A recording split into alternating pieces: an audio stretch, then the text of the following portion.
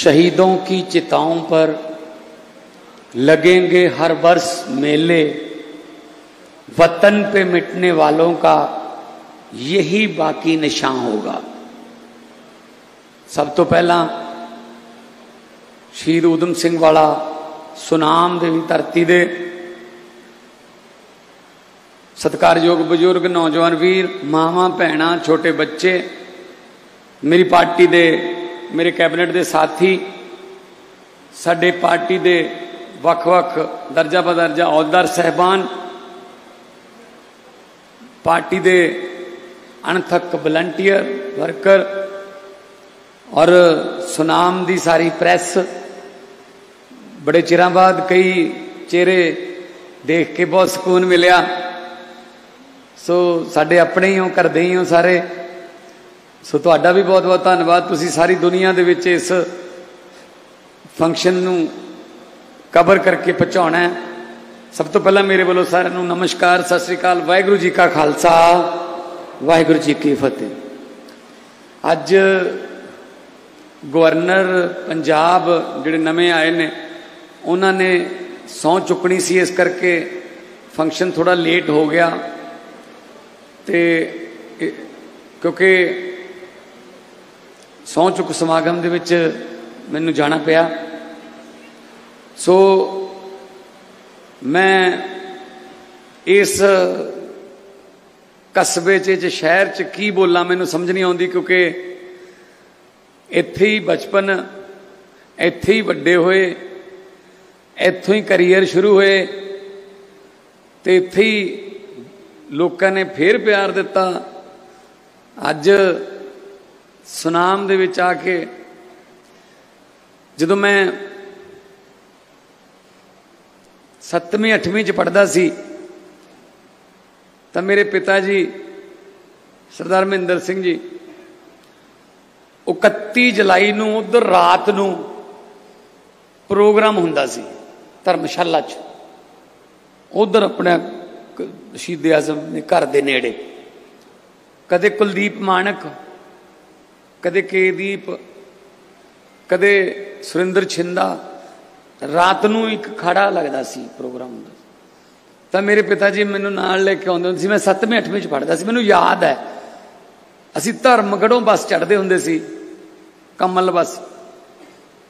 ਬਲਾਡੇ ਤੋਂ ਜਾਂਦੀ ਹੈ ਸਨਾਮ। ਧਰਮਗੜੋਂ ਚੜ੍ਹਦੇ ਹੁੰਦੇ ਸੀ। ਨਾਨਕੇ ਸਨਾਮ ਨੇ ਮੇਰੇ ਕਿਉਂਕਿ ਪੀਰਾਂ ਵਾਲੇ ਗੇਟ ਘਰ ਸੀਗਾ। ਨਾਨਾ ਨਾਨੀ ਇੱਥੇ ਰਹਿੰਦੇ ਸੀ। ਤਾਂ ਅਸੀਂ ਉੱਥੇ ਆ ਕੇ ਉਸ ਤੋਂ ਬਾਅਦ ਫਿਰ ਉਹ ਫੰਕਸ਼ਨ ਦੇਖ ਕੇ ਸ਼ਹੀਦਾਂ ਨੂੰ ਯਾਦ ਕਰਕੇ ਜਾਂਦੇ ਸੀ। ਸੋ ਸੋਚਿਆ ਨਹੀਂ ਸੀ ਕਦੇ ਕਿ ਜ਼ਿੰਦਗੀ ਇੱਕ ਐਸੇ ਮੋੜ ਤੇ ਲਿਆ ਕੇ ਖੜੀ ਕਰ ਦੂਗੀ ਕਿ ਅੱਜ ਸ਼ਹੀਦ ਆਜ਼ਮ ਨੂੰ ਬਤੌਰ ਮੁੱਖ ਮੰਤਰੀ ਸ਼ਰਧਾਂਜਲੀ ਦੇਵਾਂਗੇ। ਜਿਹੜੀਆਂ ਕੌਮਾਂ ਆਪਣੇ ਵਿਰਸਾ ਨਹੀਂ ਭੁੱਲਦੀਆਂ, ਜਿਹੜੀਆਂ ਕੌਮਾਂ ਆਪਣੇ ਸ਼ਹੀਦਾਂ ਨੂੰ ਆਪਣੇ ਵਿਰਸੇ ਨੂੰ ਯਾਦ ਰੱਖਦੀਆਂ ਨੇ, ਉਹ ਕੌਮਾਂ ਜਿਉਂਦੀਆਂ ਰਹਿੰਦੀਆਂ ਨੇ, ਬਾਕੀ ਕੌਮਾਂ ਖਤਮ ਹੋ ਜਾਂਦੀਆਂ 22 ਸਾਲ ਸੀਨੇ 'ਚ ਅੱਗ ਬਾਲ ਕੇ ਰੱਖਣੀ ਬਹੁਤ ਵੱਡੀ ਗੱਲ ਹੈ ਜੀ। ਦੁਨੀਆ 'ਚ ਮਿਸਾਲ ਨਹੀਂ ਮਿਲਦੀ। ਮੈਂ ਐਗਜ਼ਾਮਪਲ ਦਿੰਨਾ ਇੱਕ। ਦੋ ਭਰਾਵਾਂ ਦੀ ਲੜਾਈ ਹੋ ਜਾਂਦੀ ਹੈ। ਬੜੀ ਲੜਾਈ ਇਸ ਪੱਧਰ ਤੇ ਹੋ ਜਾਂਦੀ ਹੈ ਕਿ ਪੰਚਾਇਤ ਤੋਂ ਵੀ ਨਹੀਂ ਨਿਬੜਦਾ, ਰਿਸ਼ਤੇਦਾਰਾਂ ਤੋਂ ਵੀ ਨਹੀਂ ਨਿਬੜਦਾ। ਇੱਥੋਂ ਤੱਕ ਹੋ ਜਾਂਦਾ ਭਾਈ ਤੁਸੀਂ ਆਪਦਾ ਅੱਡ ਹੋ ਜਾਓ। ਦੋ ਭਾਈ ਅੱਡ ਹੋ ਜਾਂਦੇ ਨੇ। ਕੰਧ ਕੱਢਣ ਲੱਗ ਜਾਂਦੇ ਆ ਵਿਚਾਲੇ ਘਰ ਦੇ। ਤਾਂ ਮਿਸਤਰੀ ਨੂੰ ਕਹਿੰਦੇ ਨੇ, ਚਾਰ ਰਦੇ ਹੋਰ ਲਾ ਦੇ। ਸਾਨੂੰ ਇੱਕ ਦੂਜੇ ਨੂੰ ਅਸੀਂ ਤੁਰਦੇ ਨਾ ਦਿਖੀਏ। ਇੰਨੀ ਖਟਾਸ ਆ ਜਾਂਦੀ ਹੈ ਰਿਸ਼ਤਿਆਂ 'ਚ। ਪਰ ਸਾਲ ਕ ਬਾਅਦ, ਸਾਲ ਸਵਾ ਸਾਲ ਬਾਅਦ ਉਸ ਕੰਧ ਚੋਂ ਇੱਕ ਇੱਟ ਕੱਢ ਲੈਂਦੇ ਨੇ, ਚਲ ਕੌਲੀ ਦਾਲ ਦੀ ਇਧਰੋਂ ਉਧਰੋਂ ਲੈ ਲਿਆ ਕਰਾਂਗੇ। 2 ਕੁ ਸਾਲ ਬਾਅਦ ਉਸ ਕੰਧ ਦੇ ਵਿੱਚੋਂ ਢਾਹ ਕੇ ਚੋਂ ਗੇਟ ਬਣਾ ਲੈਂਦੇ ਨੇ ਵੀ ਚੱਲ ਆਉਣ ਜਾਣ ਬਣਿਆ ਰਵੇ। ਮਤਲਬ ਜਿਹੜੀ ਉਦੋਂ ਲੜਾਈ ਦੀ, ਜਿਹੜੀ ਜਦੋਂ ਕੋਈ ਕਿਸੇ ਦੀ ਹੁੰਦੀ ਹੈ, ਉਹਦੀ ਅੱਗ ਠੰਡੀ ਪੈ ਜਾਂਦੀ ਹੈ। ਸਮਝੌਤੇ ਹੋ ਜਾਂਦੇ ਨੇ। ਪਰ ਸੋਚ ਕੇ ਦੇਖੋ, ਇੱਕ ਬੰਦਾ 22 ਸਾਲ ਅੱਗ ਵਾਲੀ ਬੈਠਾ ਰਿਹਾ ਇੱਥੇ। 22 ਸਾਲ। ਤੇ ਜਾ ਕੇ ਮੈਂ ਗਿਆ ਹੋਇਆ ਉੱਥੇ ਜਦੋਂ ਮੈਂ ਸ਼ੋਅ ਸ਼ੂ ਕਰਨ ਜਾਂਦਾ ਸੀ। ਆਮ ਤੌਰ ਤੇ ਲੰਡਨ ਜਦੋਂ ਸ਼ੋਅ ਕਰਨ ਜਾਂਦੇ ਸੀ, ਤਾਂ ਬਾਕੀ ਤਾਂ ਜਿਹੜੇ ਨਾਲ ਦੇ ਕਲਾਕਾਰ ਜਾਂ ਸਾਥੀ ਹੁੰਦੇ ਸੀ, ਉਹ ਤਾਂ ਕਿਤੇ ਵਿਕਟੋਰੀਆ ਪੈਲੇਸ ਜਾਂ ਕਿਤੇ ਹੋਰ ਘੁੰਮਣ ਚਲੇ ਜਾਂਦੇ ਸੀ। ਮੈਂ ਕਹਿੰਦਾ ਹੁੰਦਾ ਸੀ ਪ੍ਰਮੋਟਰ ਨੂੰ ਜਿਹੜਾ ਕਿ ਮੈਨੂੰ ਕੈਂਗਸਟਨ ਹਾਲ ਲੈ ਜਾਓ, ਮੈਨੂੰ ਦਿਖਾ ਦਿਓ ਕਿੱਥੇ ਸਾਡੇ ਯੋਧੇ ਨੇ ਬਦਲਾ ਲਿਆ ਸੀ। ਕੈਂਗਸਟਨ ਹਾਲ ਮੈਂ ਗਿਆ ਹੋਇਆ। ਉਹਨਾਂ ਪੌੜੀਆਂ ਦੇ ਉੱਤੋਂ ਦੀ ਮੈਂ ਪੌੜੀਆਂ ਚੜ੍ਹ ਕੇ ਗਿਆ ਹੋਇਆ। ਜਿੰਨਾ ਪੌੜੀਆਂ ਤੋਂ ਪੌੜੀਆਂ ਚੜ੍ਹ ਕੇ ਸ਼ਹੀਦ ਉਹ ਸ਼ਹੀਦ ਉਦਮ ਸਿੰਘ ਜੀ ਗਏ ਹੋਏ ਸੀ ਉੱਥੇ ਅੰਦਰ ਕੈਂਗਸਟਨ ਹਾਲ। ਮੈਨੂੰ ਲੱਗਦਾ ਅੱਜ ਦੀ ਪੀੜ੍ਹੀ ਨੂੰ ਤਾਂ ਪਤਾ ਹੀ ਨਹੀਂ ਹੋਣਾ ਕੈਂਗਸਟਨ ਹਾਲ ਕੀ ਹੁੰਦਾ। ਉੱਪਰੋਂ ਗੋਲੀ ਮਾਰ ਕੇ ਇਹ ਕਹਿਣਾ ਕਿ ਮੇਰਾ ਕੰਮ ਹੋ ਗਿਆ, ਮੈਨੂੰ ਗ੍ਰਿਫਤਾਰ ਕਰ ਲਓ। ਭੱਜਿਆ ਨਹੀਂ। ਲੁਕਣ ਛਿਪਣ ਦੀ ਕੋਸ਼ਿਸ਼ ਨਹੀਂ ਕੀਤੀ। ਕਹਿੰਦਾ ਕੰਮ ਹੋ ਗਿਆ ਜੀ, ਬਸ। ਸੋ ਵੀਰੋ ਇਹ ਮਿਸਾਲਾਂ ਕਿਤੇ ਦੁਨੀਆ 'ਚ ਬਹੁਤ ਘੱਟ ਮਿਲਦੀਆਂ ਨੇ। ਆਪਾਂ ਕਿਸਮਤ ਵਾਲੇ ਆ ਕਿ ਆਪਾਂ ਇਸ ਧਰਤੀ ਦਾ ਪਾਣੀ ਪੀਨੇ ਆ ਜਿੱਥੇ ਸ਼ਹੀਦ ਉਦਮ ਸਿੰਘ ਜੀ ਪੈਦਾ ਹੋਏ ਸੀ। ਇੱਥੇ ਕਾਲਜਾਂ 'ਚ ਪੜ੍ਹੇ ਹੋਏ ਆ ਇੱਥੋਂ ਦੇ ਅੱਜ। ਆ ਨਾਲ ਹੀ ਭਰੂਰ ਵਾਲਾ ਫਾਟਕ ਹੈ ਜਿੱਥੇ ਉਹਨਾਂ ਦੇ ਪਿਤਾ ਜੀ ਗੇਟਮੈਨ ਦੇ ਤੌਰ ਤੇ ਨੌਕਰੀ ਕਰਦੇ ਸੀ। ਬਹੁਤ ਘੱਟ ਲੋਕਾਂ ਨੂੰ ਪਤਾ ਹੋਣਾ। ਮੈਂ ਪੜਦਾ ਰਹਿਣਾ ਮੈਂ ਸ਼ਹੀਦਾਂ ਬਾਰੇ ਬਹੁਤ ਪੜਦਾ ਰਹਿਣਾ ਅੱਜ ਕੱਲ ਤਾਂ ਖੈਰ ਫਿਲਮਾਂ ਵੀ ਬਣ ਜਾਂਦੀਆਂ। ਫਿਲਮ ਵੀ ਆਈ ਹੈ, ਬੜੀ ਕਾਮਯਾਬ ਰਹੀ ਉਹ, ਜਿਹੜੀ ਵਿੱਕੀ ਕੌਸ਼ਲ ਜਿਹੜਾ ਮੁੰਡਾ, ਉਹਨੇ ਉਦਮ ਸਿੰਘ ਦਾ ਰੋਲ ਨਿਭਾਇਆ। ਕਿਆ ਮਤਲਬ ਕਹਾਣੀ ਹੈ ਕਿ ਲੂੰ ਕੰਡੇ ਖੜੇ ਹੋ ਜਾਂਦੇ। ਸੋ ਜਰੂਰ ਤੁਸੀਂ ਤੁਹਾਡਾ ਜਿੱਥੇ ਆਉਣਾ ਉਹਨਾਂ ਦੀ ਆਤਮਾ ਨੂੰ ਸਕੂਨ ਦੇਊਗਾ ਕਿ ਹੈਗੇ ਨੇ ਹਜੇ, ਜਿਨ੍ਹਾਂ ਨੇ ਸਾਨੂੰ ਯਾਦ ਰੱਖਿਆ ਹੋਇਆ ਸਾਡੇ ਦਿਨ ਮਨਾਉਂਦੇ ਨੇ, ਸਾਨੂੰ ਯਾਦ ਕਰਦੇ ਨੇ। ਤੁਹਾਡਾ ਇੱਥੇ ਆਉਣਾ ਕੋਈ ਪੋਲੀਟੀਕਲ ਰੈਲੀ ਨਹੀਂ ਹੈਗੀ। ਤੁਹਾਡਾ ਇੱਥੇ ਆਉਣਾ ਅੱਜ ਉਦਮ ਸਿੰਘ ਹੋਰਾਂ ਦੀ, ਭਗਤ ਸਿੰਘ ਹੋਰਾਂ ਦੀ, ਕਰਤਾਰ ਸਿੰਘ ਸਰਾਭੇ ਹੋਰਾਂ ਦੀ ਆਤਮਾ ਨੂੰ ਸਕੂਨ ਦੇਣਾ ਹੈ, ਤੁਹਾਡਾ ਇੱਥੇ ਆਉਣਾ। ਹਰ ਧਰਮ ਦੇ ਬੰਦੇ ਮੈਂ ਦੇਖ ਰਿਹਾ। ਕਿਉਂਕਿ ਸ਼ਹੀਦ ਕਿਸੇ ਕੌਮ ਦੇ ਜਾਂ ਕਿਸੇ ਪਰਿਵਾਰ ਦੇ ਨਹੀਂ ਹੁੰਦੇ, ਉਹ ਤਾਂ ਦੇਸ਼ ਦੇ ਹੋ ਜਾਂਦੇ ਆ। ਸ਼ਹੀਦਾਂ ਦੇ ਸਰਤਾਜ ਕਿਹਨਾਂ ਨੂੰ ਕਿਹਾ ਜਾਂਦਾ? ਗੁਰੂ ਅਰਜਨ ਦੇਵ ਜੀ ਨੂੰ। ਉੱਥੋਂ ਸ਼ਹੀਦੀਆਂ ਸ਼ੁਰੂ ਹੋਈਆਂ। ਅੱਜ ਤਵੇ ਤੇ ਉਂਗਲ ਨਹੀਂ ਲਾ ਸਕਦੇ ਆਪਾਂ। ਰੋਟੀ ਪਕਾਉਣ ਵੇਲੇ ਜਿਹੜਾ ਤਵਾ ਹੈ, ਉਹ ਤੇ ਉਂਗਲ ਨਹੀਂ ਲਾ ਸਕਦੇ। ਉਹਨਾਂ ਨੇ ਉਹਦੇ ਉੱਤੇ ਬੈਠ ਕੇ ਪੰਥੀ ਮਾਰ ਕੇ ਕੁਰਬਾਨੀਆਂ ਦਿੱਤੀਆਂ ਹੋਈਆਂ ਨੇ। ਗਰਮ ਰੇਤਾ ਸਿਰ ਚ ਪਵਾਇਆ। ਸਾਡੀਆਂ ਤਾਂ ਮਿਸਾਲਾਂ ਹੀ ਇਹੋ ਜੀਆਂ ਨੇ। ਦੁਨੀਆ 'ਚ ਮਿਲਦੀਆਂ ਹੀ ਨਹੀਂ ਕਿਤੇ। 7 ਸਾਲ ਤੇ 5 ਸਾਲ ਦੇ ਸ਼ਹੀਦ ਕਿਤੇ ਮਿਲਦੇ ਆ। ਸਾਡੇ ਛੋਟੇ ਸਾਹਿਬਜ਼ਾਦੇ ਅੱਜ ਮਨਾਉਣੇ ਆ ਸਭਾ। 26 27 28 ਦਸੰਬਰ ਨੂੰ ਲੰਗਰ ਲੱਗਦੇ ਆ, ਧੁਰ ਤੱਕ, ਜਿੱਥੇ ਤੱਕ ਜਾਂਦੇ ਆ। ਨਤਮਸਤਕ ਹੋ ਕੇ ਆਉਨੇ ਆ।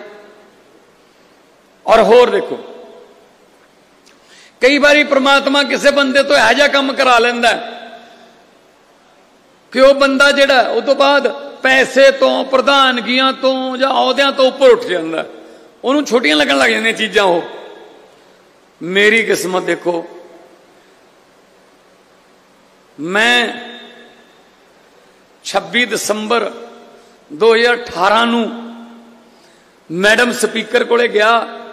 ਮੈਂ ਐਮਪੀ ਸੀ ਉਦੋਂ ਇੱਥੋਂ ਸੰਗਰੂਰ ਤੋਂ। ਮੈਂ ਕਿਹਾ ਜੀ ਕੱਲ ਨੂੰ ਛੋਟੇ ਸਾਹਿਬਜ਼ਾਦਿਆਂ ਦਾ ਸ਼ਹੀਦੀ ਦਿਵਸ ਹੈ ਪਾਰਲੀਮੈਂਟ ਦੇ ਵਿੱਚੋਂ ਸ਼ਰਧਾਂਜਲੀ ਦਿਓ ਕਹਿੰਦੇ ਪਹਿਲੇ तो कभी दी नहीं है मैंने कहा जी यही तो दुख की बात है पहले क्यों नहीं किसी ने ये ट्राई किया या अर्जी दी कहते हाँ दिन वो तो कुर्बानी तो बहुत बड़ी है कहते मुझे लिख के दो क्या बोलना है और एक जो टीडीपी है जो अभी ਚੰਦਰਬਾਬੂ ਨਾਇਡੂ ਦੀ ਪਾਰਟੀ ਇਹ ਪਿਛਲੇ 5 ਦਿਨਾਂ ਤੋਂ ਪਾਰਲੀਮੈਂਟ ਨਹੀਂ ਚੱਲਣ ਦੇ ਰਹੇ ਸੀ ਵੀ ਆਂਧਰਾ ਪ੍ਰਦੇਸ਼ ਨੂੰ ਵਿਸ਼ੇਸ਼ ਪੈਕੇਜ ਦਿਓ ਤਾਂ ਪਾਰਲੀਮੈਂਟ ਚਲਦੀ ਨਹੀਂ ਸੀ ਕਹਿੰਦੀ ਟੀਡੀਪੀ ਵਾਲੇ ਪਾਰਲੀਮੈਂਟ ਨਹੀਂ ਚੱਲਣੇ ਦੇ ਰਹੇ ਸ਼ਰਧਾਂਜਲੀ कैसे होगी ਮੈਂ ਕਿਹਾ ਮੈਡਮ ਟੀਡੀਪੀ ਵਾਲਿਆਂ ਦੀ ਜ਼ਿੰਮੇਵਾਰੀ ਮੈਂ ਲੈਣਾ ਮੈਂ ਉਹਨਾਂ ਨੂੰ ਕਹਿ ਦੂੰਗਾ ਤੁਸੀਂ ਸ਼ਰਧਾਂਜਲੀ ਦਿਓ ਬਸ कहते मुझे लिख के दो मैं लिख के दिता मैडम स्पीकर ਨੂੰ 1705 ਈਸਵੀ ਦੇ ਵਿੱਚ ਸੂਬਾ ਸਰਹੰਦ ਨੇ ਨੀਹਾਂ ਦੇ ਵਿੱਚ ਚਿਣਵਾਤੇ ਜਿਸ ਵੇਲੇ ਨੀਹਾਂ ਦੇ ਵਿੱਚ ਚਿਣ ਰਹੇ ਸੀ, YouTube ਤੇ ਤੁਸੀਂ ਪਾ ਕੇ ਦੇਖਿਓ ਮੈਡਮ ਸਪੀਕਰ ਬੋਲ ਰਹੀ ਹੈ। ਜਿਸ ਵੇਲੇ ਨੀਹਾਂ 'ਚ ਚਿਣ ਰਹੇ ਸੀ, ਇਹ ਮੈਂ ਦੱਸਿਆ ਉਹਨਾਂ ਨੂੰ ਮੈਡਮ ਨੂੰ, ਤਾਂ ਛੋਟ, ਵੱਡੇ ਸਹਿਬਜ਼ਾਦਿਆਂ ਦੀਆਂ ਅੱਖਾਂ 'ਚੋਂ ਅਥਰੂ ਆ ਗਏ।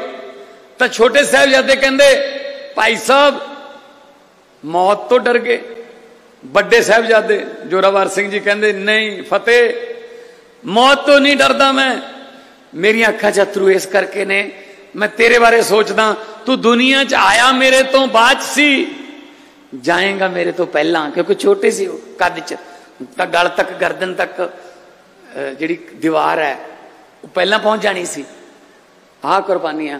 ਔਰ ਟੀਡੀਪੀ ਵਾਲਿਆਂ ਨੂੰ ਮੈਂ ਮਨਾਇਆ ਅਗਲੇ ਦਿਨ, ਸਵੇਰੀ 10 ਵਜੇ ਆ ਕੇ ਕਿ ਅੱਜ ਗੁਰੂ ਗੋਬਿੰਦ ਸਿੰਘ ਜੀ ਦੇ ਸਹਿਬਜ਼ਾਦਿਆਂ ਦਾ ਸ਼ਹੀਦੀ ਦਿਵਸ ਹੈ। ਤੁਸੀਂ ਰੌਲਾ ਨਾ ਪਾਇਓ। ਸ਼ਰਧਾਂਜਲੀ ਹੋ ਲੈਣ ਦਿਓ। ਉਸ ਤੋਂ ਬਾਅਦ ਮੈਂ ਤੁਹਾਡਾ ਸਾਥ ਦੇਵਾਂਗਾ ਹੋਰ ਬੋਲੋ। ਮੇਰੀ ਗੱਲ ਮੰਨਦੇ ਸੀ, ਉਹ ਕਹਿੰਦੇ ਠੀਕ ਹੈ। ਉਹਨਾਂ ਦੇ ਲੀਡਰ ਨੇ ਕਹਿਤਾ ਕਿ जितनी ਦੇਰ ਸ਼ਰਧਾਂਜਲੀ ਚਲੇਗੀ, ਉਤਨੀ ਦੇਰ ਹਮ कुछ ਨਹੀਂ करेंगे ਉਸਕੇ ਬਾਅਦ देखेंगे 27 ਦਸੰਬਰ 2018 ਨੂੰ ਭਾਰਤ ਦੀ ਪਾਰਲੀਮੈਂਟ ਦੇ ਵਿੱਚ ਇਤਿਹਾਸ 'ਚ ਪਹਿਲੀ ਵਾਰ ਹੋਇਆ ਕਿ ਛੋਟੇ ਸਾਹਿਬਜ਼ਾਦਿਆਂ ਨੂੰ ਸ਼ਰਧਾਂਜਲੀ ਦਿੱਤੀ ਗਈ ਹੈ। ਤੇ ਨਾਲ ਰਿਕਾਰਡ ਤੇ ਗਈ ਹੈ ਰਿਕਾਰਡ ਤੇ। ਮੈਂ ਕਿਹਾ ਜੀ ਰਿਕਾਰਡ ਤੇ ਕਰੋ ਇਹਨੂੰ। ਰਿਕਾਰਡ ਦਾ ਮਤਲਬ ਪਤਾ ਕੀ ਹੁੰਦਾ? ਰਿਕਾਰਡ ਦਾ ਮਤਲਬ ਇਹ ਹੈ ਕਿ ਅੱਜ ਤੋਂ 500 ਸਾਲ ਬਾਅਦ ਵੀ ਆਪਾਂ ਤਾਂ ਹੋਵਾਂਗੇ, ਆਪਣੀਆਂ ਅਗਲੀਆਂ ਪੀੜ੍ਹੀਆਂ ਵੀ ਨਹੀਂ ਹੋਣਗੀਆਂ। ਪਰ ਜਦੋਂ ਪਾਰਲੀਮੈਂਟ ਚੱਲੂਗੀ, ਹਰੇਕ 27 ਦਸੰਬਰ ਨੂੰ ਸਵੇਰੇ 11 ਵਜੇ ਜਦੋਂ ਪਾਰਲੀਮੈਂਟ ਸ਼ੁਰੂ ਹੋਊਗੀ, ਪਹਿਲਾਂ ਛੋਟੇ ਸਾਹਿਬਜ਼ਾਦਿਆਂ ਨੂੰ ਸ਼ਰਧਾਂਜਲੀ ਦਿੱਤੀ ਜਾਊਗੀ, ਕਿਉਂਕਿ ਰਿਕਾਰਡ ਤੇ ਚਲੀ ਗਈ। ਰਿਕਾਰਡ ਤੇ। ਮੈਨੂੰ ਇੰਨਾ ਸਕੂਨ ਮਿਲਿਆ, ਮੈਨੂੰ ਮੇਰੀਆਂ ਕੈਸਟਾਂ ਸੀੜੀਆਂ ਬਹੁਤ ਆਈਆਂ, ਫਿਲਮਾਂ, ਸੀਰੀਅਲ ਬਹੁਤ ਆਏ, ਲੋਕਾਂ ਦੇ ਤਾਰੀਫਾਂ ਦੇ ਫੋਨ ਬਹੁਤ ਆਏ, ਪਰ ਜਿੰਨੇ ਫੋਨ ਮੈਨੂੰ ਉਸ ਵੇਲੇ ਆਏ, ਮੇਰੀ ਜ਼ਿੰਦਗੀ 'ਚ ਅਜੇ ਤੱਕ ਇੰਨੇ ਫੋਨ ਨਹੀਂ ਮੈਨੂੰ ਆਏ। ਦੁਨੀਆ ਭਰ ਦੇ ਲੋਕਾਂ ਦੇ ਫੋਨ ਆਏ ਕਿ ਯਾਰ ਆ ਤਾਂ ਕਿਸੇ ਨੇ ਸੋਚਿਆ ਹੀ ਨਹੀਂ ਸੀਗਾ, ਤੇ ਤੂੰ ਕਿਵੇਂ ਕਰਾਤਾ? ਮੈਂ ਕਿਹਾ ਜੀ, ਮੇਰੇ ਦਿਲ 'ਚ ਸੀਗਾ ਕਿ ਕੋਈ ਕੰਮ ਮੇਥੋਂ ਪਰਮਾਤਮਾ ਕਰਵਾ ਲੇ ਹੈ ਜਾਂ ਜਿਹੜਾ ਦੁਨੀਆ ਯਾਦ ਰੱਖ ਲੇ। ਹੋਰ ਤੋਂ ਬਾਅਦ ਕਾਦੀਆਂ ਪ੍ਰਧਾਨਗੀਆਂ ਕਾਦੀਆਂ ਪੈਸਾ ਕੀ ਕੁਝ ਨਹੀਂ ਰਹਿ ਜਾਂਦਾ। ਸੋ ਜਦੋਂ ਤੋਂ ਪਰਮਾਤਮਾ ਨੇ ਕੋਈ ਕਰਾਉਣਾ ਹੁੰਦਾ ਕੰਮ, ਕਰਾ ਲੈਂਦਾ, ਆਪ ਹੀ ਕਰਾ ਲੈਂਦਾ। ਅੱਜ ਇੱਥੇ ਤੁਹਾਡੇ ਕੋਲੇ ਆਇਆ। ਆ ਸੀ ਪਾਇਟ ਨਾਂ ਦਾ ਇੱਕ ਪ੍ਰੋਜੈਕਟ ਹੈ, ਉਹ ਮੈਂ ਸ਼ੁਰੂ ਕਰਕੇ ਆਇਆ ਖੇੜੀ। ਉਹਦੇ ਵਿੱਚ ਕੀ ਹੈ 10 ਏਕੜ ਦੇ ਵਿੱਚ ਹੈ, ਉਹਦੇ ਵਿੱਚ 1200 ਬੱਚਾ ਇੱਕ ਸਾਲ ਦੇ ਵਿੱਚ ਟ੍ਰੇਨਡ ਹੋਊਗਾ। ਪੁਲਿਸ ਵਾਸਤੇ ਸੀਆਰਪੀਐਫ ਵਾਸਤੇ ਬੀਐਸਐਫ ਵਾਸਤੇ ਪੈਰਾਮਿਲਟਰੀ ਫੋਰਸ ਵਾਸਤੇ, ਜਿੰਨੀਆਂ ਵੀ ਫੋਰਸਸ ਨੇ ਆਰਮਡ ਫੋਰਸਸ ਨੇ, ਉਹਨਾਂ ਵਾਸਤੇ ਟ੍ਰੇਨਿੰਗ ਦਿੱਤੀ ਜਾਊਗੀ। 1200 ਬੱਚੇ ਨੂੰ ਇੱਕ ਸਾਲ 'ਚ। ਹੋਸਟਲ ਹੈ, ਉੱਥੇ ਰਹਿਣਗੇ ਐਡਮਿਨ ਬਲਾਕ ਹੈ 400 ਮੀਟਰ ਦਾ ਟਰੈਕ ਹੈ, ਉਹਨਾਂ ਦੇ ਪ੍ਰੈਕਟਿਸ ਕਰਨ ਵਾਸਤੇ ਵਾਲੀਬਾਲ ਦਾ ਗਰਾਊਂਡ ਹੈ ਟੈਨਿਸ ਦਾ ਗਰਾਊਂਡ ਹੈ, ਸ਼ੂਟਿੰਗ ਰੇਂਜ ਹੈ, ਸਭ ਕੁਝ ਉਹਦੇ 'ਚ। ਲੇਟੈਸਟ ਸੀ ਪਾਇਟ ਨਾਂ ਦਾ ਪ੍ਰੋਜੈਕਟ ਹੈ ਤੇ ਸਾਡੇ ਬੱਚੇ ਜਿਹੜੇ ਨੇ, ਉਹ ਆਪਣਾ ਫੌਜ ਦੇ ਵਿੱਚ ਜਾਂ ਆਰਮਡ ਫੋਰਸਸ ਦੇ ਵਿੱਚ ਆਪਦਾ ਕੈਰੀਅਰ ਬਣਾਉਣਗੇ। ਅੱਜ ਮੈਂ ਉਦਘਾਟਨ ਕਰਕੇ ਆਇਆ।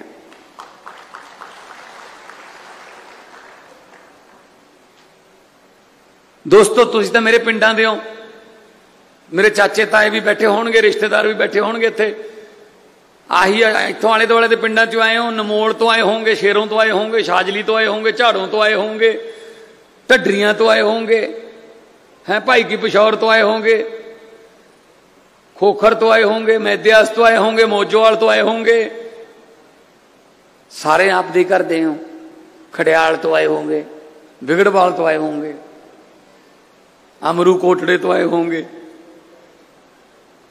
ਮਰਦ ਖੇੜੇ ਤੋਂ ਆਏ ਹੋਣਗੇ ਚਲ ਫਿਰ ਬਿਸ਼ਨਪੁਰੇ ਤੋਂ ਤਾਂ ਆਏ ਹੋਣਗੇ ਤੁੰਗਾ ਕਲਾਰਾਂ ਤੋਂ ਤਾਂ ਆਏ ਹੋਣਗੇ ਪੱਕਾ। ਸਭੀਰੋ ਇਹ ਪਿੰਡ ਨੇ ਆਪਣੇ ਯਾਰ ਆਪਾਂ ਇੱਥੇ ਹੀ ਰਹਿੰਦੇ ਰਹੇ ਇੱਥੇ ਹੀ ਰਿਸ਼ਤੇਦਾਰੀਆਂ, ਇੱਥੇ ਹੀ ਰਹਿਣਾ ਜਾਣਾ ਨਹੀਂ ਕਿਤੇ, ਇੱਥੇ ਹੀ ਰਹਿਣਾ ਜੜਾਂ ਨਹੀਂ ਛੱਡਣੀਆਂ। ਦੇਖ ਲਓ, ਉਹ ਗਮਲਿਆਂ ਦੇ ਜਿਹੜੇ ਬੂਟੇ ਹੁੰਦੇ ਨੇ ਥੋੜੀ ਜਿਹੀ ਨੇਰੀ ਨਾਲ ਡਿੱਗ ਪਏ, ਗਮਲਾ ਟੁੱਟ ਜਾਂਦਾ ਤੇ ਬੂਟਾ ਖਤਮ। ਤੇ ਪਿੱਪਲ ਤੇ ਬੋੜ ਐਂ ਖੜੇ ਰਹਿੰਦੇ ਨੇ। 2-200 ਸਾਲ ਹੋ ਗਏ ਪਿੱਪਲਾਂ ਬੋੜਾਂ ਨੂੰ। ਕਿਉਂਕਿ ਉਹਨਾਂ ਦੀਆਂ ਜੜਾਂ ਨੇ ਜੜਾਂ। ਉਹ ਧਰਤੀ ਨਾਲ ਜੁੜੇ ਹੋਏ ਨੇ। ਤਾਂ ਖੜੇ ਨੇ। ਤਾਂ ਖੜੇ ਨੇ, ਧਰਤੀ ਨਾਲ ਜੁੜੇ ਹੋਏ ਨੇ। ਸੋ ਧਰਤੀ ਨਾਲ ਜੁੜ ਕੇ ਰਹਿਣਾ ਹੈ। ਧਰਤੀ ਨਾਲ ਜੁੜ ਕੇ ਰਹਿਣਾ ਹੈ। ਕਿਉਂਕਿ ਆਪਾਂ ਲੋਕ ਥੱਲੋਂ ਆਏ ਹੋਏ ਆ ਆਹੀ ਆਪਣਾ ਫਾਇਦਾ ਵੀ ਹੈ ਕਿ ਆਪਾਂ ਨੂੰ ਸਾਰਾ ਪਤਾ ਹੈ। ਹੁਣ ਉਹਨਾਂ ਨੂੰ ਨਹੀਂ ਪਤਾ ਬਈ ਜਿਹੜੇ ਦੂਜੇ ਨੇ ਕਨਵੈਂਟ ਸਕੂਲਾਂ ਵਾਲੇ ਸੁਖਵੀਰ ਬਾਦਲ ਹੋ ਰਹੀ ਮਜੀਠੀ ਹੋ ਰਹੀ ਖੈਰੇ ਖੁਰੇ ਹੋ ਰਹੀ ਮਤਲਬ ਉਹਨਾਂ ਨੂੰ ਨਹੀਂ ਪਤਾ ਉਹਨਾਂ ਨੂੰ ਵੀ ਕੀ ਹੁੰਦੀ ਹੈ ਦੁਨੀਆ ਕਿ ਮੈਨੂੰ ਆਪਾਂ ਮਾਲਵਾ ਨਹਿਰ ਕੱਢੀ ਹੈ ਪਹਿਲਾਂ ਤਾੜੀ ਮਾਰੋ ਇੱਕ ਮਾਲਵਾ ਨਹਿਰ ਵਾਸਤੇ। ਆਜ਼ਾਦੀ ਤੋਂ ਬਾਅਦ ਪਹਿਲੀ ਨਹਿਰ ਬਣੂਗੀ ਜੀ, ਆਜ਼ਾਦੀ ਤੋਂ ਬਾਅਦ। ਹਰੀ ਕੇ ਪੱਤਨ ਤੋਂ ਸ਼ੁਰੂ ਹੋਊਗੀ। ਔਰ ਰਾਜਸਥਾਨ ਦੇ ਆਖਰੀ ਪਿੰਡ ਤੱਕ ਜਿੱਥੇ ਆਪਣਾ ਰਾਜਸਥਾਨ ਦਾ ਬਾਰਡਰ ਹੈ ਉੱਥੇ ਤੱਕ ਜਾਊਗੀ। 2500 ਕਿਊਸਿਕ ਪਾਣੀ ਜਾਊਗਾ। 149 ਕਿਲੋਮੀਟਰ ਲੰਬਾਈ ਹੈ। 50 ਫੁੱਟ ਚੌੜੀ ਹੈ ਉੱਪਰੋਂ। 12.5 ਫੁੱਟ ਡੰਗਾਈ ਹੈ। 521 ਮੋਗੇ ਨੇ। 2 ਲੱਖ ਏਕੜ ਜ਼ਮੀਨ ਨੂੰ ਪਾਣੀ ਮਿਲੂਗਾ ਜੀ।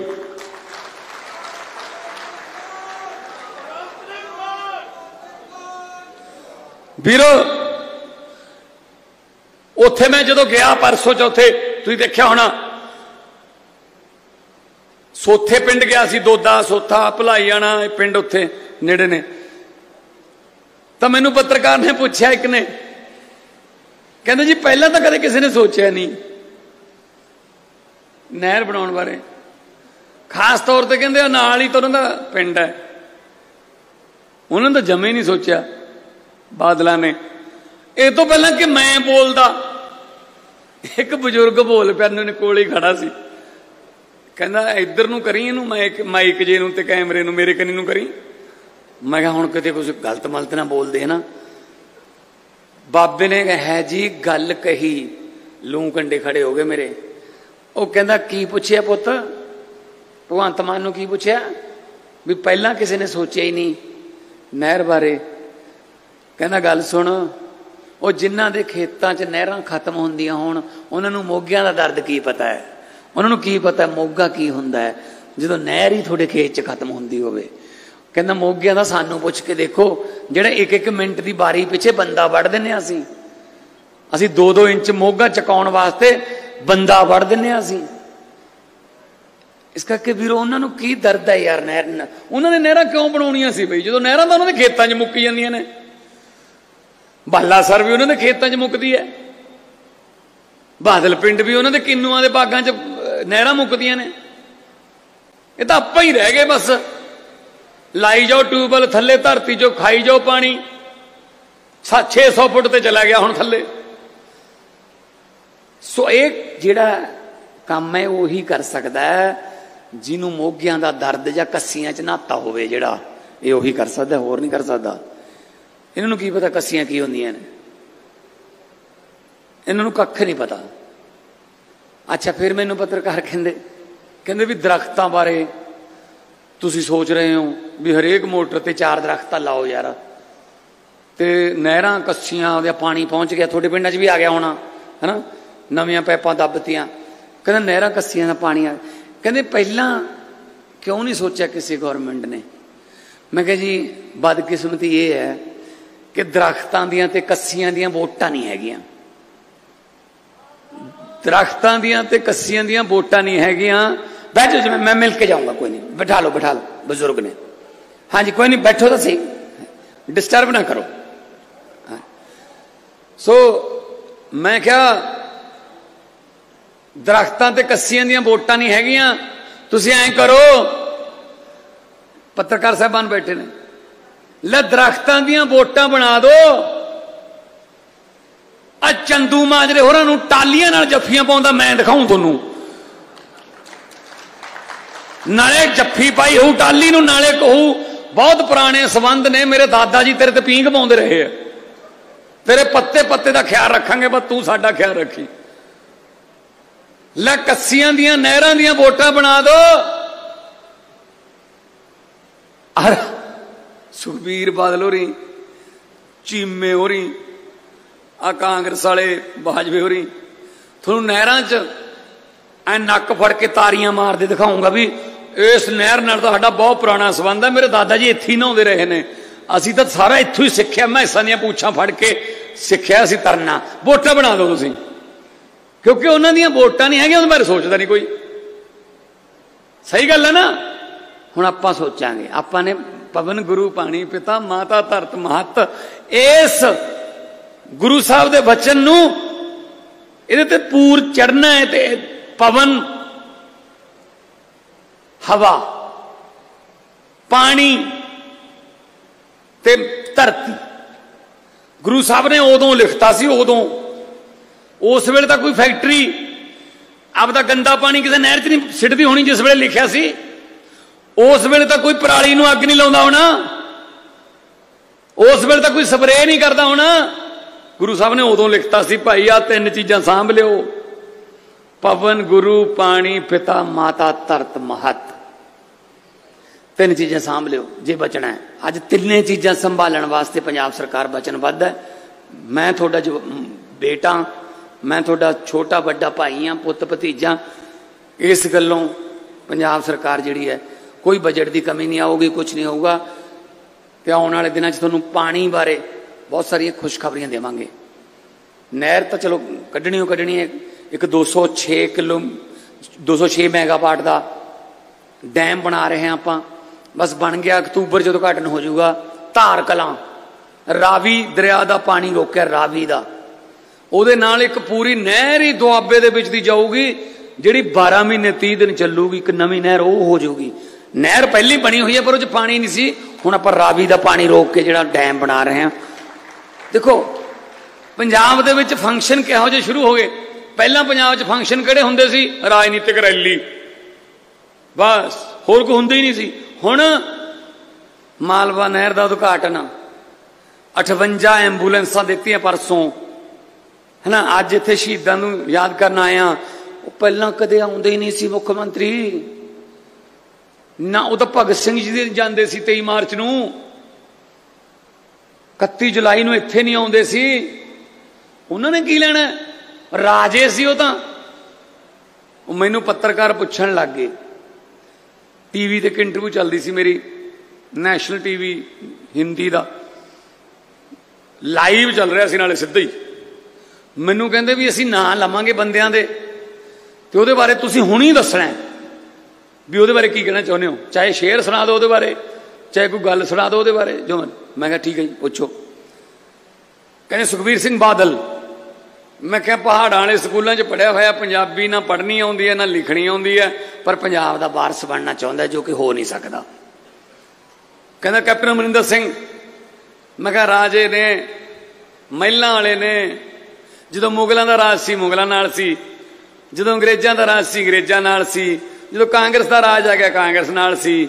ਜਦੋਂ ਕਾਲੀਆਂ ਦਾ ਰਾਜ ਆ ਗਿਆ ਕਾਲੀਆਂ ਨਾਲ ਸੀ। ਅੱਜ ਕੱਲ ਭਾਜਪਾ ਦਾ ਰਾਜ ਆ ਤਾਂ ਭਾਜਪਾ ਨਾਲ ਨੇ। ਲੋਕਾਂ ਨਾਲ ਤਾਂ ਕਦੇ ਹੋਈ ਹੀ ਨਹੀਂ।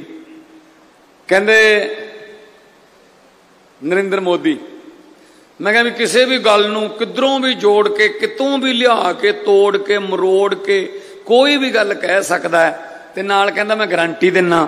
ਕਹਿੰਦੇ ਜੀ, ਕੈਸੇ?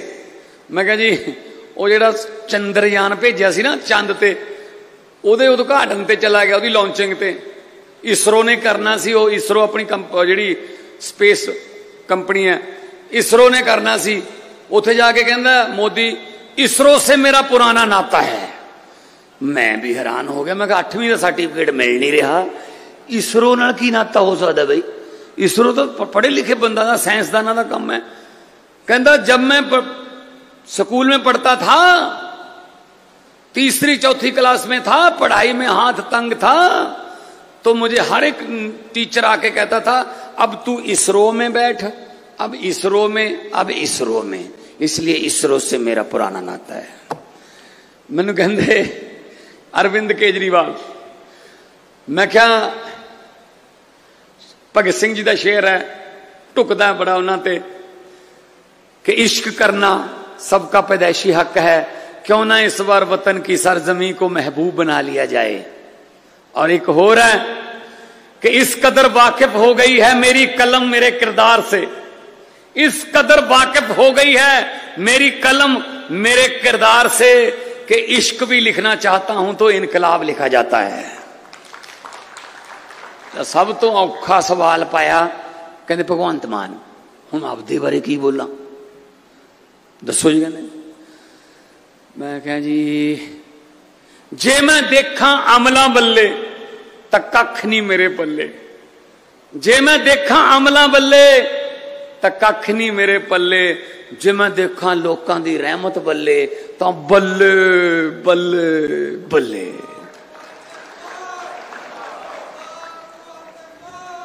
ਸੋ ਵੀਰੋ, ਇਹ ਥੋੜਾ ਪ੍ਰਤਾਪ ਹੈ, ਪਬਲਿਕ ਦਾ ਪ੍ਰਤਾਪ ਹੈ ਇਹ। ਨਹੀਂ, ਬੰਦੇ ਦੇ ਬਸ ਦੀ ਗੱਲ ਨਹੀਂ ਹੈਗੀ ਇਹ। ਜਿਹੜਾ ਕੰਮ ਤੁਸੀਂ ਕਰਤਾ ਨਾ ਇਹ ਬੰਦੇ ਦੇ ਬਸ ਦੀ ਗੱਲ ਨਹੀਂ। ਇਹ ਤਾਂ ਜਦੋਂ ਪਰਮਾਤਮਾ ਰੂਪੀ ਪਬਲਿਕ ਮੂਹਰੇ ਆਉਂਦੀ ਹੈ, ਉਦੋਂ ਕੰਮ ਹੁੰਦਾ ਹੈ ਉਦੋਂ ਇਹ ਕੰਮ ਹੁੰਦਾ। ਸੋ ਸੁਨਾਮ ਕਾਲਜ ਪੜਦੇ ਰਹੇ ਆ ਇੱਥੋਂ ਹੀ ਕੁਲਫੀ ਗਰਮਾ ਗਰਮ ਤੋਂ ਲੈ ਕੇ ਇੱਥੋਂ ਹੀ ਸ਼ੁਰੂ ਹੋਇਆ ਸਾਰਾ ਕੁਝ। ਆ ਨਾਨਕੇ ਇੱਥੇ ਨੇ, ਦੋਸਤ ਮਿੱਤਰ ਮੰਡੀ ਸਨਾਮ ਵਾਲੀ ਜਿੱਥੇ ਅੱਜ ਹੈਲੀਕਾਪਟਰ ਉਤਰਿਆ। ਮੈਂ ਕਹਾ ਆਪਣੇ ਆਪ ਨੂੰ ਮੈਂ ਸੋਚਿਆ, ਭਗਵੰਤ ਮਾਨਾ, ਇੱਥੇ ਝੋਨੇ ਦੀ ਟਰਾਲੀ ਲੈ ਕੇ ਆਉਂਦਾ ਹੁੰਦਾ ਸੀ, ਅੱਜ ਹੈਲੀਕਾਪਟਰ ਲਈ ਫਿਰਦਾ ਇੱਥੇ। ਫਿਰ ਹੋਰ ਤੂੰ ਕੀ ਭਾਲਦਾ ਭਾਈ ਹੁਣ ਪ੍ਰਮਾਤਮਾ ਤੋਂ? ਇਦੋਂ ਵੱਧ ਹੋਰ ਕੀ ਕਰੀਏ? ਅਰਦਾਸ ਹੀ ਕਰਦੇ ਆ। ਦੋ ਟਾਈਮ ਅਰਦਾਸ ਕਰਦੇ ਆ ਪ੍ਰਮਾਤਮਾ, ਜਿੰਨੀ ਕਿ ਦਿੱਤ ਬਣਾਤੀ ਉਨੀ ਕਿ ਕਾਇਮ ਰੱਖ ਲਈ। ਭਾਵੇਂ ਵਧਾਈ ਨਾ, ਪਰ ਘਟਾਈ ਨਾ। ਕੋਈ ਗਲਤ ਫੈਸਲਾ ਨਾ ਕਰਾਈ।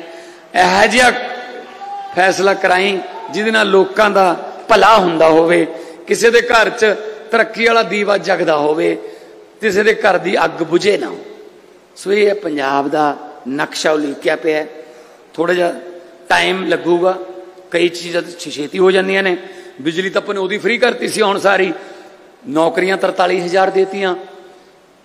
ਸ਼ਹੀਦਾਂ ਦੇ ਸਨਮਾਨ ਦੇ ਵਿੱਚ 1 ਕਰੋੜ ਰੁਪਈਆ ਜੇ ਕੋਈ ਸ਼ਹੀਦ ਹੁੰਦਾ ਆਪਣਾ ਪੰਜਾਬ ਦਾ ਮੁੰਡਾ ਕਿਤੇ ਵੀ, ਉਹਨਾਂ ਨੂੰ ਦਿੰਨੇ ਆ। ਤੇ ਜਿਹੜੇ 올림픽 ਦੇ ਵਿੱਚੋਂ ਮੈਡਲ ਲੈ ਕੇ ਆਉਣਗੇ ਉਹਨਾਂ ਨੂੰ 1 ਕਰੋੜ ਰੁਪਈਆ ਸੋਨੇ ਦੇ ਤਗਮੇ ਦਾ 75 ਲੱਖ ਰੁਪਈਆ ਚਾਂਦੀ ਦੇ ਤਗਮੇ ਦਾ 50 ਲੱਖ ਰੁਪਈਆ ਕਾਂਸੀ ਦੇ ਤਗਮੇ ਦਾ ਤੇ ਨਾਲੇ ਉਹਨਾਂ ਨੂੰ ਪਹਿਲਾਂ ਪੈਸੇ ਦਿੱਤੇ ਆ ਕਿ ਉਹ ਬੂਟ ਤਾਂ ਲੈ ਲਓ ਉਹ ਜਿਨ੍ਹਾਂ ਨੂੰ ਪਾ ਕੇ ਭੱਜਣਾ ਉੱਥੇ ਓਏ ਉਹ ਗੱਦੇ ਤਾਂ ਲੈ ਲਓ ਜਿਨ੍ਹਾਂ ਤੇ ਕੁਸ਼ਤੀ ਕਰਨੀ ਆ ਉੱਥੇ ਇੱਥੇ ਮਿੱਟੀ ਤੇ ਪ੍ਰੈਕਟਿਸ ਕਰੀ ਜਾਂਦੇ ਆ ਉੱਥੇ ਗੱਦੇ ਹੁੰਦੇ ਨੇ ਗੱਲ ਹੀ ਨਹੀਂ ਬਣਦੀ ਜੀ ਗ੍ਰਿਪ ਹੀ ਨਹੀਂ ਬਣਦੀ ਸੋ ਅਸੀਂ ਪਹਿਲਾਂ ਪੈਸੇ ਦੇ ਕੇ ਪਲੇਅਰ ਤਿਆਰ ਕਰਾਂਗੇ 19 ਪਲੇਅਰ ਗਏ ਹੋਏ ਆ 올림픽 ਦੇ ਵਿੱਚ ਆਪਣੇ 19 ਔਰ ਹਾਕੀ ਦੀ ਟੀਮ 'ਚ 11 ਚੋਂ 10 ਪੰਜਾਬ ਦੇ ਨੇ ਤੁਸੀਂ ਦੇਖਦੇ ਹੋਵੋਗੇ ਰੋਜ਼ ਮੈਚ ਨਾ ਹਰਮਨਪ੍ਰੀਤ ਹੋਰੀ ਹਰਮਨਪ੍ਰੀਤ ਹੈ ਗੁਰਜੰਟ ਹੈ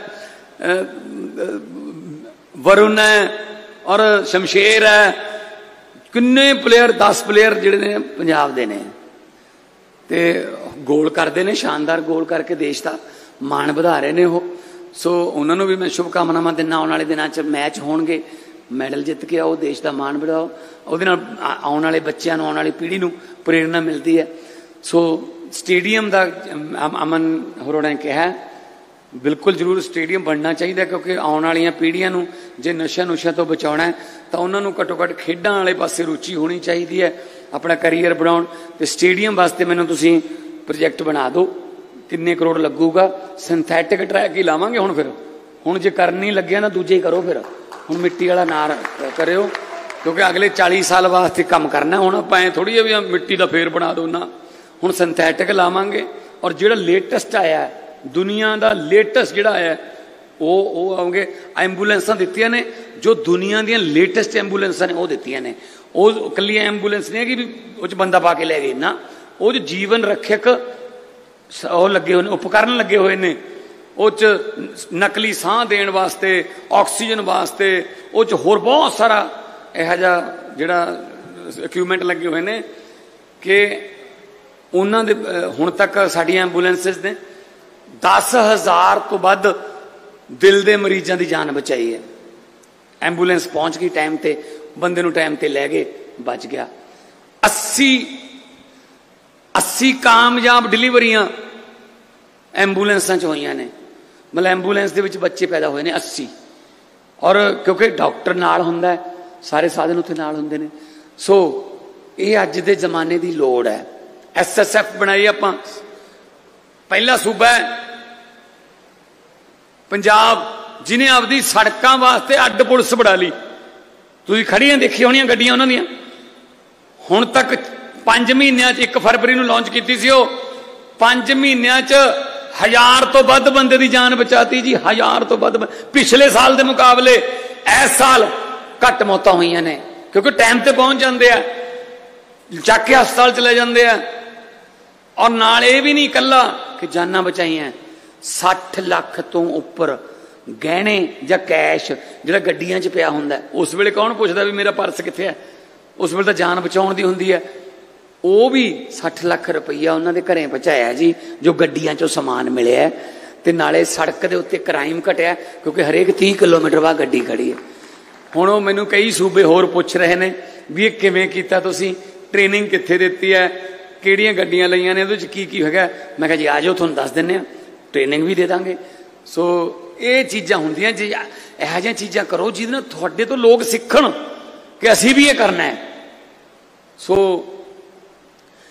ਅੱਜ ਉਹਨਾਂ ਦੀ ਸ਼ਹੀਦਾਂ ਦੀ ਜੋ ਯਾਦ ਹੈ ਉਹਨੂੰ ਮਨਾ ਰਹੇ ਹਾਂ ਤੇ ਉਹ ਉਹਨਾਂ ਦੇ ਸੁਪਨਿਆਂ ਦੀ ਜਿਹੜੀ ਆਜ਼ਾਦੀ ਹੈ, ਉਹ ਲੋਕਾਂ ਤੱਕ ਪਹੁੰਚ ਜੇ। ਇਹ ਐਫਰਟ ਕਰ ਰਹੇ ਹਾਂ ਕਿ ਕਾਮਯਾਬੀਆਂ, ਤਰੱਕੀਆਂ ਹੋਣ, ਤਾਂ ਉਹਨਾਂ ਦੀ ਕੁਰਬਾਨੀ ਦਾ ਕੋਈ ਫਾਇਦਾ ਹੋਊਗਾ।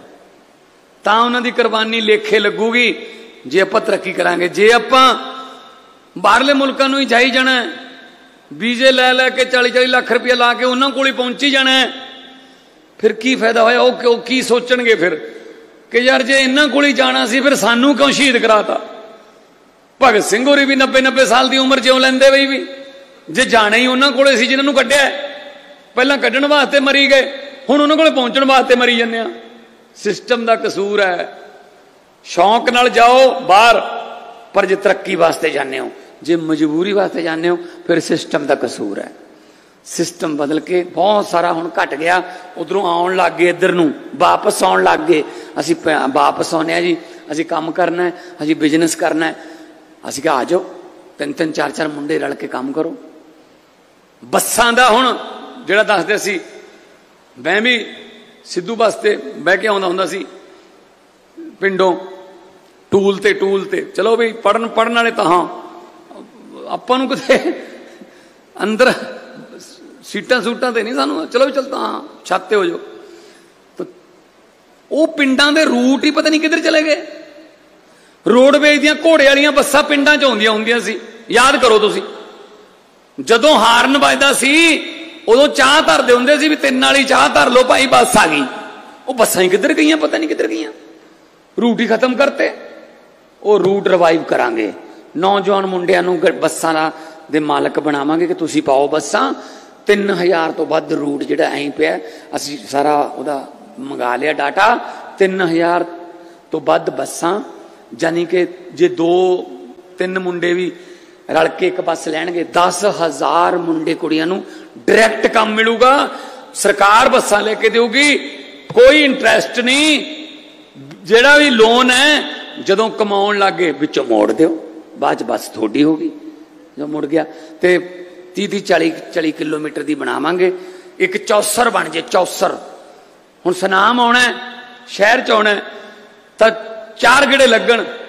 ਇੱਕ ਸਵੇਰੇ 7-8 ਵਜੇ ਸ਼ਹਿਰ ਚ ਲੈ ਕੇ ਆਏ, ਇੱਕ 11 ਵਜੇ ਚਲੀ ਗਈ, ਵਾਪਸ। ਫਿਰ ਉਧਰੋਂ 2-3 ਵਜੇ ਫੇਰ ਆਈ, ਫਿਰ ਸ਼ਾਮ ਨੂੰ 6 ਵਜੇ ਫੇਰ ਆਈ। ਚੌਸਰ ਕਹਿੰਦੇ ਆ ਨੂੰ ਚੌਸਰ। ਚੌਸਰ ਦੇ ਦੋ ਤੇ ਪਿੰਡਾਂ 'ਚ ਜਿਹੜੇ ਆਮ ਲੋਕ ਨੇ ਕਦੇ ਕਿਸੇ ਟਰੈਕਟਰ ਦੇ ਡਾਲੇ ਤੇ ਚੜ ਕੇ ਲੰਮ ਕੇ ਜਾਂਦੇ ਆ, ਕਦੇ ਕਿਸੇ ਦੀਆਂ ਮਿਹਨਤਾਂ ਕਰਦੇ ਆ, ਕਦੇ ਕਿਸੇ ਦੀਆਂ। ਇਹ ਆਪਾਂ ਕਿਉਂ ਨਹੀਂ ਕੰਮ ਕਰਦੇ ਵੀ ਬੱਸਾਂ ਜਾਣ, ਪਿੰਡਾਂ ਨੂੰ ਜਾਣਗੀਆਂ? ਤੇ ਤੁਸੀਂ ਐਂ ਕਰਿਓ, ਸ਼ਰਤ ਲਾ ਲਓ ਸੁਖਵੀਰ ਨੂੰ ਪੁੱਛ ਲਿਓ ਚੌਸਰ ਕੀ ਹੁੰਦੀ ਹੈ। ਹਾਲਾਂਕਿ ਬੱਸਾਂ ਦਾ ਮਾਲਕ ਹੈ ਉਹ। ਚੌਸਰ, ਉਹਨੂੰ ਪਤਾ ਹੀ ਨਹੀਂ ਚੌਸਰ ਕੀ ਹੁੰਦੀ। ਚੌਧਰ ਤਾਂ ਪਤਾ ਹੋਊਗਾ ਉਹਨੂੰ ਚੌਸਰ ਨਹੀਂ ਪਤਾ ਉਹਨੂੰ। ਚੌਧਰ ਕੀ ਹੁੰਦੀ ਹੈ ਤਾਂ ਪਤਾ ਹੋਊਗਾ ਉਹਨੂੰ। ਸੋ ਇਸ ਕਰਕੇ ਉਹ ਬੰਦੇ ਜਿਨ੍ਹਾਂ ਦਾ ਕੋਈ ਰਿਲੇਸ਼ਨ ਹੀ ਨਹੀਂ, ਕੋਈ ਆਮ ਲੋਕਾਂ ਨਾਲ ਲੈਣਾ ਦੇਣਾ ਨਹੀਂ, ਉਹਨਾਂ ਨੂੰ ਆਪਾਂ ਕਿਉਂ ਆਪਾਂ ਕੁਰਸੀਆਂ ਤੇ ਬਿਠਾ ਕੇ, ਉਹ ਚਲੋ ਕੁਦਰਤੀ ਹੁਣ ਤੱਕ ਰੱਬ ਨੇ ਕਹਾੜਾ ਚਲਾਤਾ।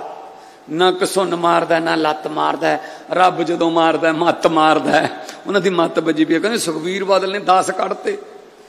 ਕੱਲ ਮੈਂ ਖਬਰ ਸੁਣੀ ਸੁਖਵੀਰ ਬਾਦਲ ਨੇ ਕਹਿੰਦੇ 10 ਲੀਡਰ ਕੱਢਤੇ। ਮੈਂ ਕਿਹਾ ਹੈਗੇ ਕਿੰਨੇ ਕਿਸੇ ਪਹਿਲਾਂ? 10 ਕੀ ਸੀ, ਉਹੀ ਕੱਢਤੇ। ਹੁਣ ਫਿਰ ਕੀ ਕਰੋਗੇ? ਤੱਕੜੀ ਕਿੱਧਰ ਗਈ ਫਿਰ ਹੁਣ? ਉਹ ਤੱਕੜੀ ਦੀਆਂ ਰੱਸੀਆਂ ਟੁੱਟ ਗਈਆਂ। ਇਹ ਆਪਾਂ ਨੂੰ ਕਹਿੰਦੇ ਹੁੰਦੇ ਸੀ ਨਾ ਥੋੜਾ ਝਾੜੂ ਖਿੱਲਰ ਗਿਆ। ਮੈਂ ਉਦੋਂ ਕਹਿੰਦਾ ਹੁੰਦਾ ਸੀ, ਉਹ ਤੱਕੜੀ ਦੀ ਇੱਕ ਰੱਸੀ ਟੁੱਟ ਜੇ, ਉਹ ਤੋਲਣ ਜੋਗੀ ਨਹੀਂ ਰਹਿੰਦੀ।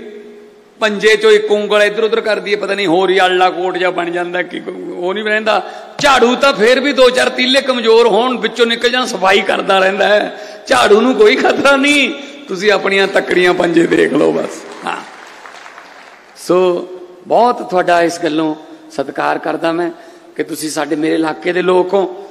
ਜਦੋਂ ਮਰਜ਼ੀ ਆਪਣਾ ਪੁੱਤ ਸਮਝ ਕੇ, ਆਪਣਾ ਛੋਟਾ ਵੱਡਾ ਭਾਈ ਸਮਝ ਕੇ, ਜਦੋਂ ਮਰਜ਼ੀ ਮੈਨੂੰ ਰੋਕ ਲਿਓ, ਬਾਹ ਫੜ ਕੇ ਰੋਕ ਲਿਓ, ਆਪਾਂ ਇਹਨਾਂ ਪਿੰਡਾਂ ਵਾਸਤੇ ਕਦੇ ਇਹਨਾਂ ਪਿੰਡਾਂ ਤੋਂ ਵੱਡੇ ਨਹੀਂ ਹੋ ਸਕਦੇ। ਕਹਿੰਦੇ ਬੰਦਾ ਕਦੇ ਵੀ ਜਿੱਥੇ ਮਰਜ਼ੀ ਪਹੁੰਚ ਜੇ ਪਰ ਆਪਣੇ ਪੁਰਾਣੇ ਯਾਰਾਂ ਦੋਸਤਾਂ ਤੋਂ, ਪੁਰਾਣੇ ਟੀਚਰਾਂ ਤੋਂ ਔਰ ਪੁਰਾਣੇ ਆਪਣੇ ਸੱਭਿਆਚਾਰ ਤੋਂ ਵੱਡਾ ਨਹੀਂ ਹੋ ਸਕਦਾ ਕਦੇ ਵੀ।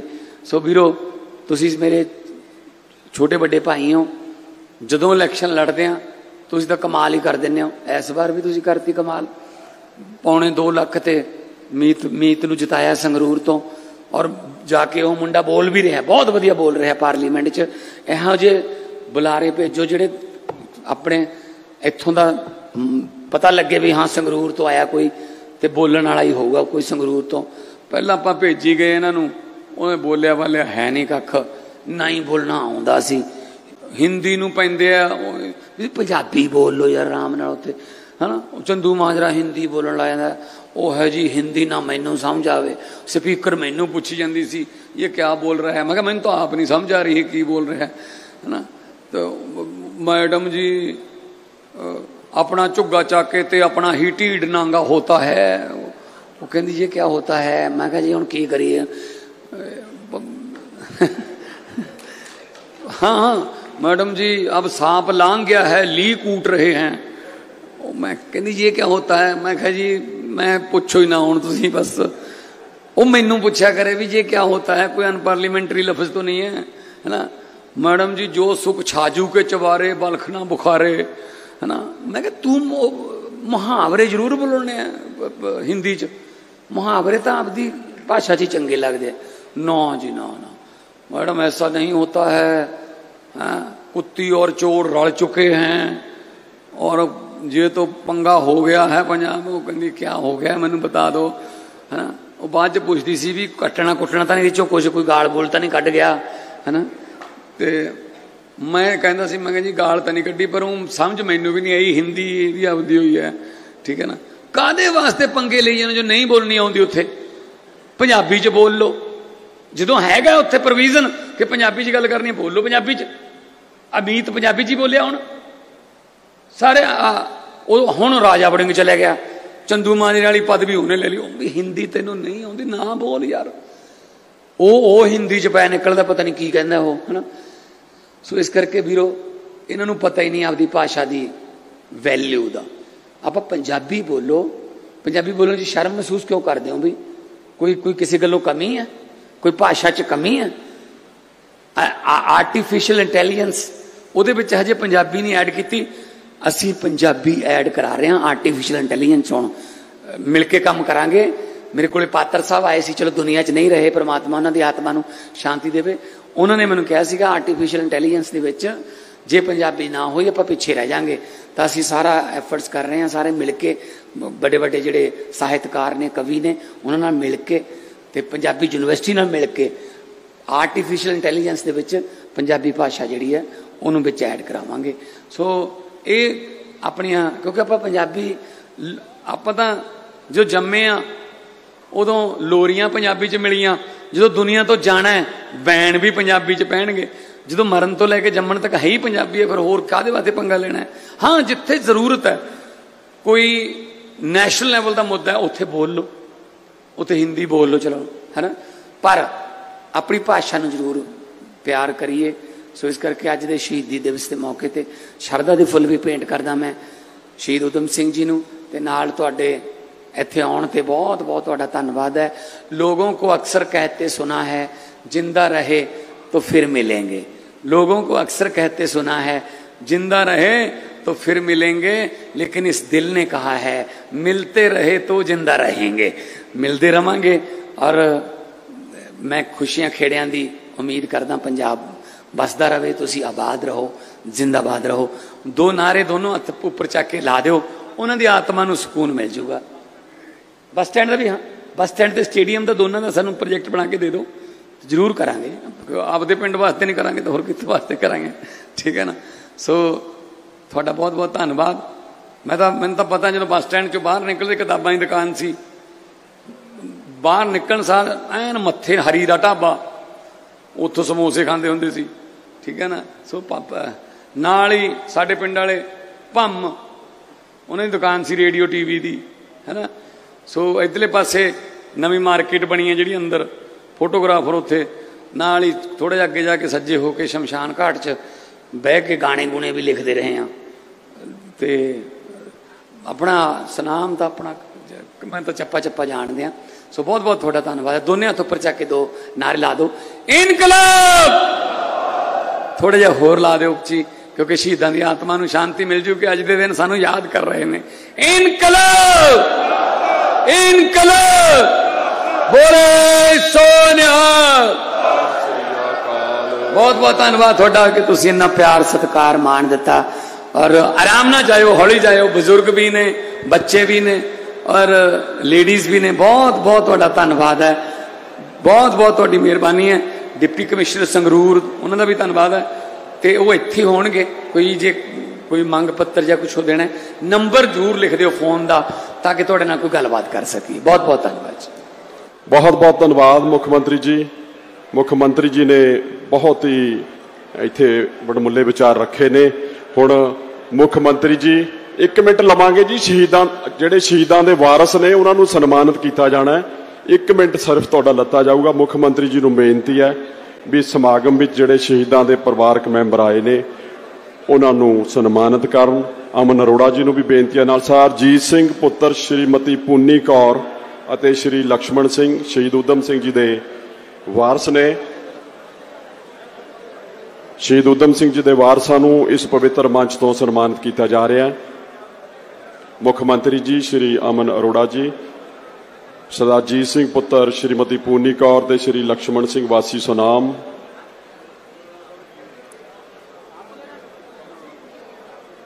ਅਗਲੇ ਪਰਿਵਾਰਕ ਉਹਨਾਂ ਦੇ ਮੈਂਬਰ ਨੇ ਸਰਦਾਰ ਗਿਆਨ ਸਿੰਘ ਪੁੱਤਰ ਲੇਟ ਖੁਸ਼ੀਨੰਦ ਵਾਸੀ ਸ਼ਹੀਦ ਉਦਮ ਸਿੰਘ ਨਗਰ ਸੁਨਾਮ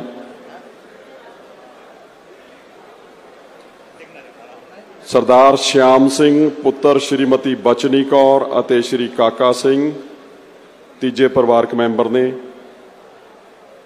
ਚੌਥੇ ਸਰਦਾਰ ਜੀਤ ਸਿੰਘ, ਪੁੱਤਰ ਸਰਦਾਰ ਬਚਨ ਸਿੰਘ।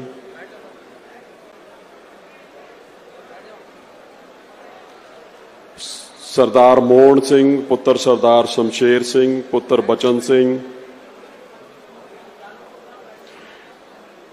ਸ਼੍ਰੀਮਤੀ ਰਣਜੀਤ ਕੌਰ, ਰਾਣੀ ਪੁੱਤਰੀ ਸ਼੍ਰੀ ਬਚਨ ਸਿੰਘ, ਸਰਦਾਰ ਗੁਰਮੀਤ ਸਿੰਘ, ਪੁੱਤਰ ਸ਼੍ਰੀ ਇੰਦਰ ਕੌਰ, ਸ਼੍ਰੀਮਤੀ ਇੰਦਰ ਕੌਰ, ਮੁੱਖ ਮੰਤਰੀ ਜੀ ਨੇ ਹੁਣ ਬੇਨਤੀ ਆ ਸਾਰਿਆਂ ਨੇ, ਆਪਾਂ ਨੈਸ਼ਨਲ ਐਂਥਮ ਰਾਸ਼ਟਰੀ ਗਾਇਨ ਹੋਣਾ, ਉਹਦੇ ਸਤਿਕਾਰ ਵਜੋਂ ਖੜੇ ਹੋਣਾ ਸਾਰਿਆਂ ਨੇ। ਅੱਜ राष्ट्रीय गायन।